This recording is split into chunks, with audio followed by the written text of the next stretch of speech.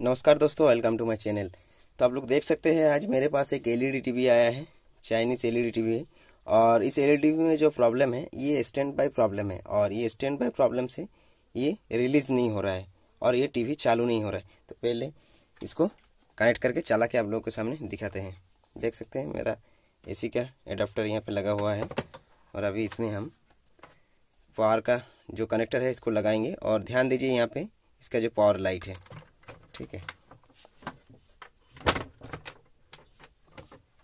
तो यहाँ पे हम कनेक्ट कर दिए। देखिए, इसका पावर का जो एलईडी है, ये ग्लो हो चुका है। और हालाँकि ये, इसका जो पावर बटन है पावर बटन प्रेस करने पर भी ये ऑन नहीं हो रहा है, ठीक है। देख सकते हैं, ये इसका रिमोट है। इसको जैसे हम प्रेस कर रहे हैं, ये ऑन नहीं हो रहा है। और हालाँकि मेरा इसका रिमोट भी सही है। आप लोग को सामने दिखाते हैं, देखिए। देखिए रिमोट भी इसका सही है। लेकिन ये ऑन नहीं हो रहा है। तो चलिए इसको खोल के दिखाते हैं, क्यों ऑन नहीं हो रहा है और इसका सोल्यूशन क्या है, वो भी दिखाएँगे। ठीक है? तो पहले इसको बंद कर देते हैं और ये भी दिखा देते हैं कि इसमें पोपर बारह वोल्ट आ रहा है कि नहीं आ रहा है।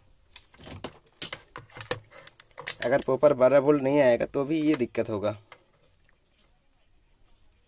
देख सकते हैं पोपर बारह वोल्ट ये आ रहा है। ओके? तो इसको हम साइड में रख देते हैं। अभी इसको हम खोल के दिखाते हैं। पीछे से इसका जो कनेक्टर है कनेक्टर को हम निकाल लेंगे।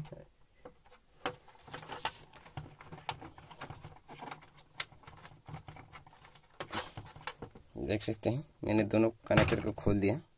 अभी इसको साइड में रखते हैं। अभी देखिए, ये जो मैंने कनेक्टर था, ये मैंने सारे निकाल दिए। अभी इसका जो वोल्टेज है वोल्टेज आप लोग के सामने चेक करके दिखाते हैं। किस वजह से ये स्टैंड बाई प्रॉब्लम से रिलीज़ नहीं होता है? इसका मेनली दो तीन प्रॉब्लम है। जैसा कि एक हो गया है, आपका अगर सॉफ्टवेयर का दिक्कत होगा तो भी ये स्टैंड बाई से रिलीज़ नहीं होगा। अगर कुछ वोल्टेज का कुछ मिसिंग होगा तो भी ये स्टैंड बाई से रिलीज़ नहीं होगा। तो पहले वोल्टेज को चेक करके देखेंगे। अगर वोल्टेज सारे कुछ ओके है तो उसका सॉफ्टवेयर करके देख लेंगे एक बार। फिर से इसका जो कनेक्टर है कनेक्टर को लगाएँगे हम।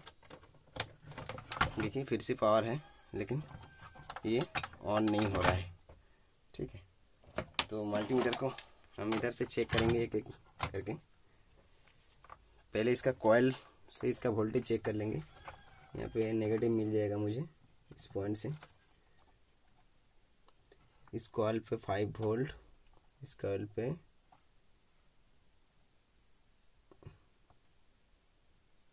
वन पॉइंट वन ओके अभी देखिए यहाँ पे एक रेगुलेटर लगा हुआ है। ये टीपील वन का टीपील वन एट का जो रेगुलेटर है, ये डुअल रेगुलेटर है। यहाँ पे इसका जो दो पिन इधर से जो आउट है, इसमें थ्री पॉइंट थ्री आउट होगा और इस पर वन पॉइंट एट आउट होगा। थ्री पॉइंट थ्री की जगह थ्री पॉइंट एट फाइव आ रहा है। अब इसमें ये दोनों पिन में यहाँ पे देखिए वन पॉइंट सेवन आ रहा है, जो कि यहाँ पे वन पॉइंट एट वोल्ट आना चाहिए था। और आपको दो, तीन जगह आपको देख लेना है। यहाँ पे जो इसका बायोस का जो आईसी है, उसका एट नंबर पिन पे थ्री पॉइंट थ्री आना चाहिए। देख सकते हैं। यहाँ पे भी आ रहा है, ठीक है।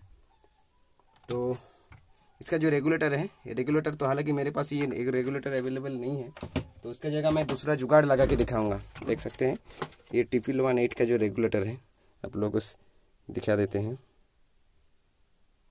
देख सकते हैं, ये रेगुलेटर है। तो रेगुलेटर को हम पहले खोल लेंगे, ओके, खोल के दिखाते हैं। तो ये अगर सोलर आयरन से ओपन हो जाएगा तो ठीक है, नहीं तो इसको हम बोलवर से इसको निकालेंगे।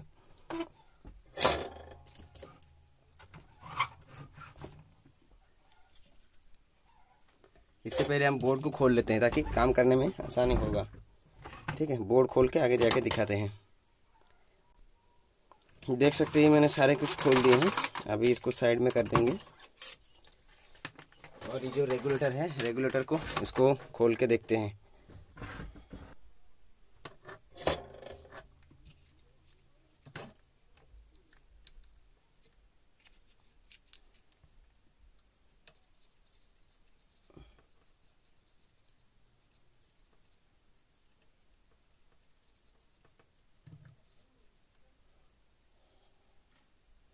सोल्डरिंग वायर से सोल्डर से थोड़ा सा रिक्सी होगा, लेकिन ये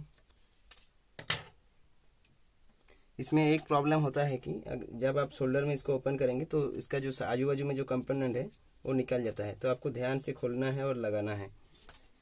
हालाँकि मेरा तो मैं बहुत इस टाइप का काम कर चुका हूँ तो इसलिए मेरा कुछ दिक्कत नहीं होता है, लेकिन आप जब लोग करेंगे, तब ध्यान से कीजिए। नहीं तो ये आजू बाजू में इसका जो कंपोनेंट है, ये ख़राब हो जाएगा। सॉरी ख़राब तो नहीं होगा, ये मिसिंग हो जाएगा, आपको पता ही नहीं चलेगा। तो देख सकते हैं, मैंने इसका जो रेगुलेटर है, इसको मैंने खोल दिया। अभी आप लोगों के सामने दिखाएँगे इसको, साफ़ करके।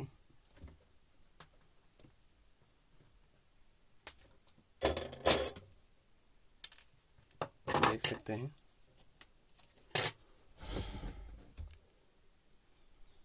ये इसका रेगुलेटर है। कि अभी क्लियर नहीं आ रहा है। बाद में हम दिखाएँगे इसको साफ़ सुथरा करके। अभी इसमें क्या करेंगे? अभी इसमें हम, ये तो मेरा डुअल रेगुलेटर है और डुअल रेगुलेटर अभी मेरे पास नहीं है। तो मैं डुअल रेगुलेटर के लिए ये जो है डीसी टू डीसी आईसी जो है, क्या बोलते हैं आप लोग? देख सकते हैं। यहाँ पे आपको हर टाइप का वोल्टेज मिल जाता है। इस टाइप का बोर्ड में देख सकते हैं। जैसा कि हो गया 1.8 1.5 2.5 3.3 5 वोल्ट। तो मुझे यहाँ पे 3.3 और 1.8 दोनों चाहिए। तो मैं इस दोनों को सोल्डर करके दिखाता हूँ आगे। तो देख सकते हैं, ये दोनों मैंने सोल्डर कर लिया। अभी इस पर देखेंगे देखिए एक एक हमने किया है 3.3 वोल्ट पर और एक हमने किया है 1.8 वोल्ट पर। देख सकते हैं। देख लीजिए, देख सकते हैं दोनों लगा दिया। अभी इस पर हम 12 वोल्ट सप्लाई देंगे, ठीक? तो यहाँ से हम 12 वोल्ट ले लेंगे।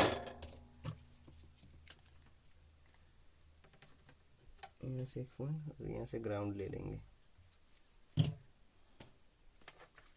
पहले इसका जो ग्राउंड है, इसको जोड़ते हैं। और उसके बाद यहाँ से इसका बारह वोल्ट इनपुट से बारह वोल्ट ले लेंगे। तो ये हो गया मेरा डुअल रेगुलेटर। अभी इसको साइड में रखते हैं। अभी देखते हैं कि ये बोर्ड मेरा चालू हो रहा है कि नहीं। ठीक है।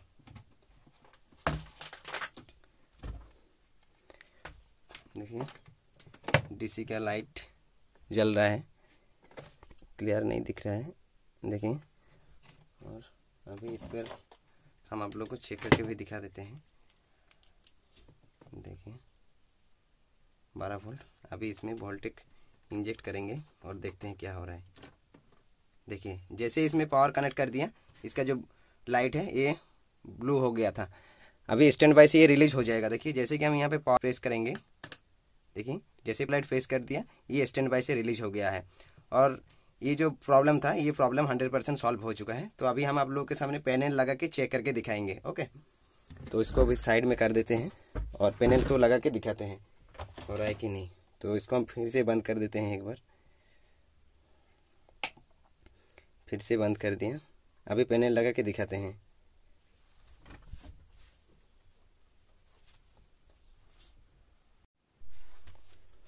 तो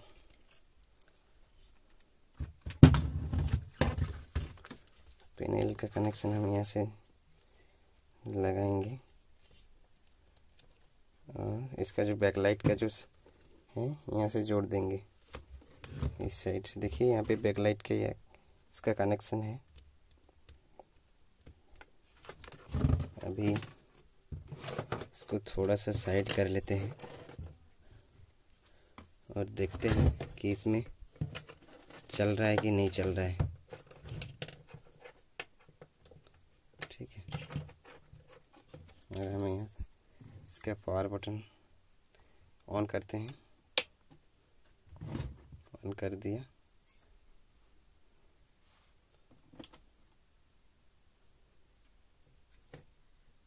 देखिए वो इस साइड में है इसका। पावर बटन का जो एलईडी है, यहाँ पे है। देख सकते हैं। और अभी इसको हम पावर प्रेस करके स्टैंड बाई से रिलीज़ करेंगे। देखिए, पावर प्ले बटन प्रेस कर दिए स्टैंड बाई से रिलीज़ हो गया है। और इसमें डिस्प्ले भी आ गया है। देख सकते हैं ए भी देख सकते हैं। तो आप लोग देख लिया है कैसे ये जो यूनिवर्सल चाइना बोर्ड है, ये आसानी से रिपेयर हो जाएगा। बस आपको कुछ नहीं करना है, दो तीन जगह पर आपको वोल्टेज को चेक करना है और आपको कनेक्शन करना है। तो ये दोनों, दो तीन चीज़ काम करने से ही हो जाएगा। और वीडियो अच्छा लगा तो कमेंट में ज़रूर बताइएगा। ठीक है, और अभी तक आपने मेरे चैनल को सब्सक्राइब नहीं किया है तो प्लीज़ जाके एक बार सब्सक्राइब कर दीजिएगा। देखिए ये रेगुलेटर जो मैंने बताए थे देख सकते हैं। इसको साफ़ करके दिखा देते हैं एक बार लास्ट में। देख सकते हैं यहाँ पे टिपी टिपिल वन एट लिखा हुआ है, जो कि ये डुअल रेगुलेटर है वन पॉइंट एट वोल्ट और थ्री पॉइंट थ्री वोल्ट का। तो यहाँ पे मैंने दो इसका जो ले लिया है, और इसको हम यहाँ से, इसको हम यहाँ से कनेक्ट कर दिए हैं, देख सकते हैं। एक वन पॉइंट एट वोल्ट पर और एक थ्री पॉइंट थ्री वोल्ट पर। Thank you guys